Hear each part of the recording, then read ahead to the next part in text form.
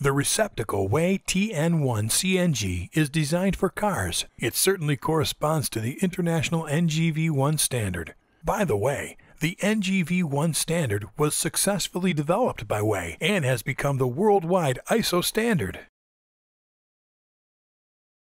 Due to the internal aerodynamic design, low noise refueling and maximum flow rates can be achieved. The WEH TN1 CNG is available for a wide range of connection possibilities. For example, with double ferrule fitting, internal thread, with and without filter. The integrated particle filter captures dirt and gas-borne debris, therefore reducing the danger of erosion and preventing leakage. The TN1 CNG receptacle has an integrated check valve and a coding for the pressure range and gas type.